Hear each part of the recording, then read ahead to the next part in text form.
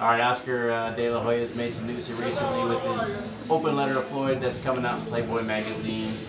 Uh, I want to get into some specifics, but first, just an overall general um, view on that. Is it sour grapes on his part? Does he have Of course, a point? it, of course, it's fucking sour grapes. What else could it be? The one thing is this: no one ever dogged Oscar De La Hoya the way Floyd did.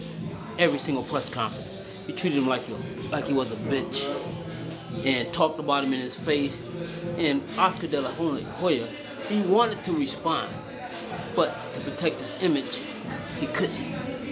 And at the end of the day, being a good guy didn't help his ass. He still got he still got his ass whooped by the bad guy. The same guy who came up in your face, talked about you every kind of way possible, disrespected you in every way possible, and now that's the one thing that believe me, that's the one thing that that still burns with Oscar is the fact that Floyd did that shit to him and he couldn't do nothing at the time because he wanted to he wanted to be a bad boy. He wanted to be able to say, I'll fuck you up or I'll do this, but he couldn't. He played the role of a good guy. He had that fake ass image that he had to keep. And so that's what he did. And it ended up with sour grapes because he still got his ass whooped. Uh, well, let's go over a few of the specific points and then see what you have to say about those, if they have any merit or not. Uh, one of the first things he said is the fight game is better without Floyd. What do you think about that? How could it be better when Floyd made more money than anybody? And he made did he broke every pay-per-view record there was. Well, that's great for Floyd, but is that good for boxing? Yeah, it's fucking good for boxing. What do you mean? You think that Bo- Floyd the only one made money? Everybody involved in boxing made money. It's a business.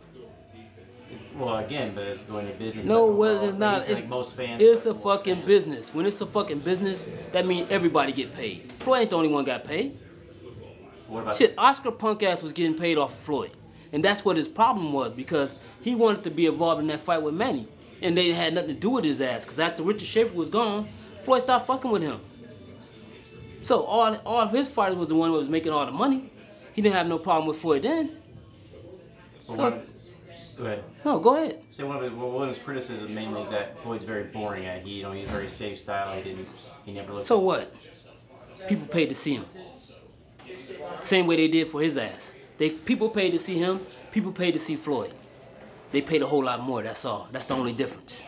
But it seems like you know what he'll say is that after every fight, people yes they did pay, but after every fight they were like, So what? this was a boring fight. So what? Obviously they didn't fucking. Obviously they fucking wasn't upset because those same motherfuckers went out and paid again, and again, and again. So for to say that, that's asinine. You gotta be a complete fucking fool to say that when this guy is steady putting up more numbers and more numbers every fight. Obviously somebody out there fucking like what the fuck he's doing. Uh, another thing he said, Floyd was a.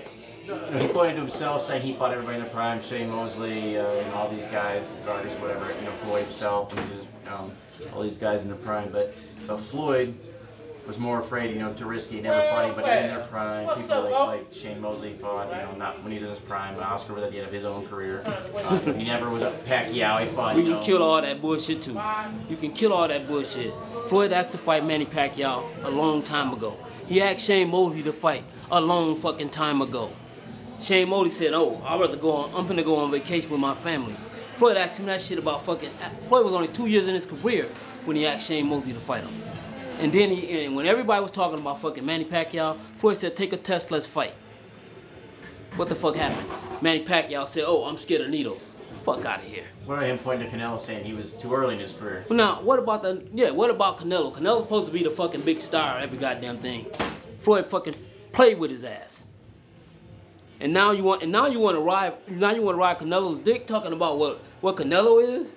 Canelo is this. Canelo is that. But he's the same guy that got his ass whipped by Floyd. The two guys that y'all are building up for this big fight, they both got their ass whipped by Floyd.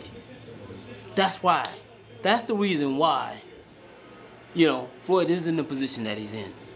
I mean, and and what else? What else are you gonna say? Um, um, I mean, he's the only fighter in the history of any fucking sport to be undefeated for 19 fucking years.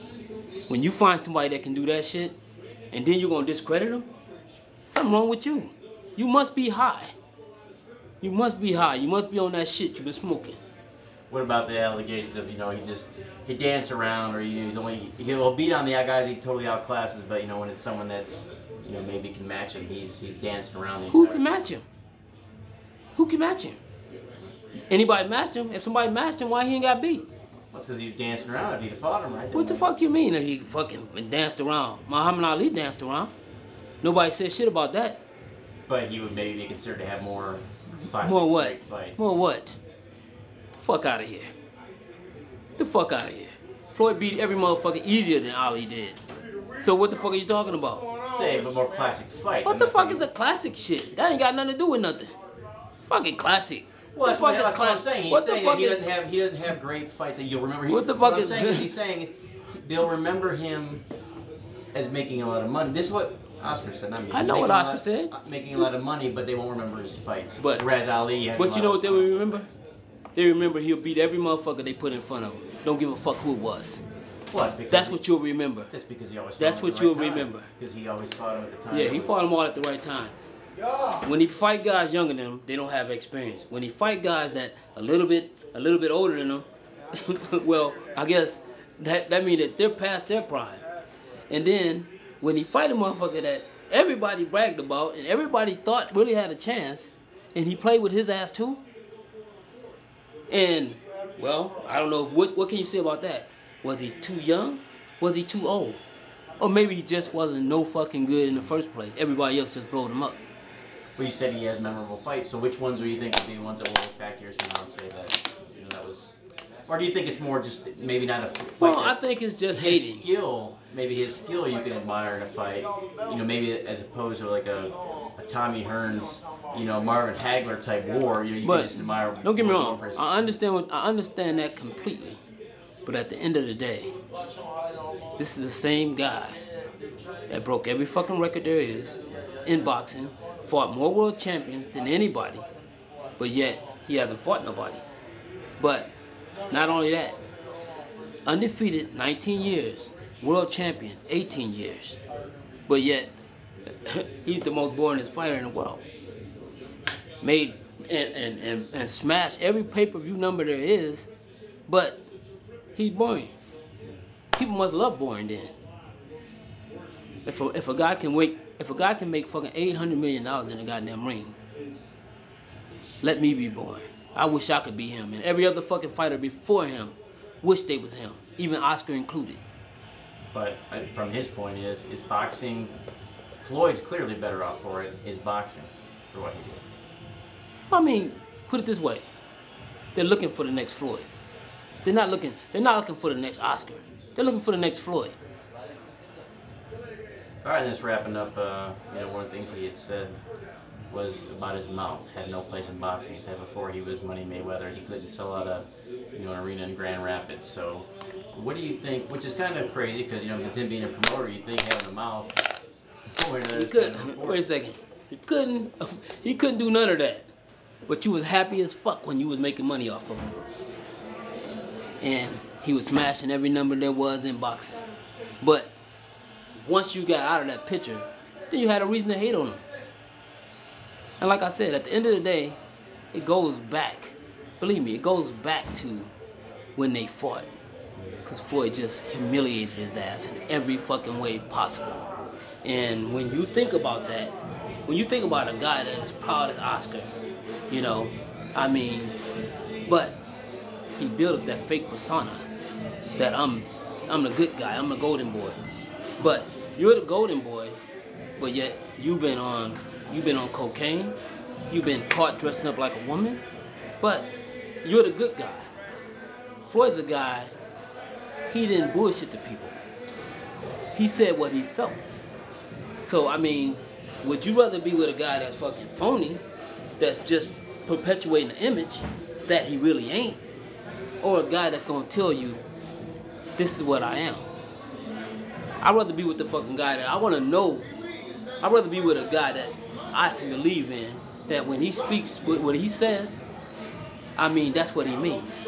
Rather than a guy who has a fake persona, you know, Mr. Good Guy, but behind the scenes, it's anything but good.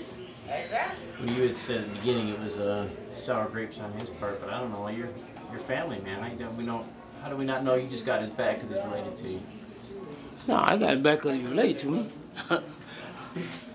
I mean, don't get me wrong. I mean, the thing is this. I mean, Oscar was great for boxing in his time. He had a great story. But when he started being so phony, the story didn't mean anything no more.